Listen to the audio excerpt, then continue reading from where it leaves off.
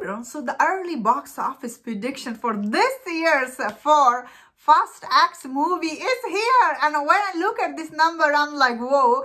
Personally, when I saw the first trailer for the Fast X, I thought the movie trailer was just amazing. I really like the way the trailer looked. I think many people also liked that first trailer. So I do think this movie will do amazing business at the box office, uh, like worldwide market. Uh, although this Fast and Furious movie, they don't do amazing business at the domestic market, but they do amazing, amazing business at the international market. And although their Fast and Furious is the international like box office hit type movie. Even the last one, it came out during the pandemic time, but it managed to uh, cross, I think 700 something, it crossed to that. Even back then, I was like, whoa, how is that movie made so much money? Uh, although last movie, it wasn't as good as uh, it could have been. But I really like this movie. They are entertaining popcorn movie. You sit down and watch them, you know. Maybe the last one really did cross a little line with the reality, but you know what? Still, it was entertaining. They added John Cena. Of course, this one, it has Jason Momoa, you know, who is Aquaman. I think many people, like, I, I showed this trailer to many people. They're excited to see him.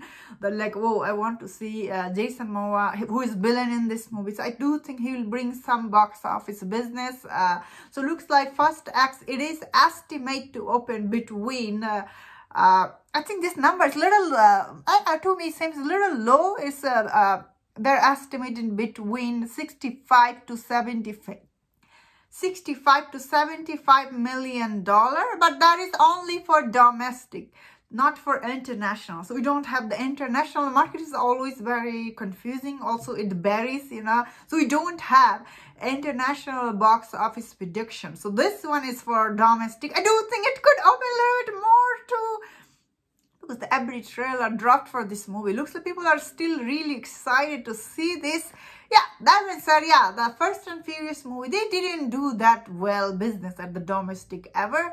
But somehow they are able to make billion dollar at the worldwide market. Uh, that means that this movie, like the Fast X, does have huge box office budget. You know, this movie's budget is higher than 300 25 or something that is what i heard last time like three more than 300 dollar this movie's budget so this movie does need to make a lot of money uh I think two more is coming if I'm not wrong. But I am like, personally, I am huge fan of this franchise. So I can't wait to see them.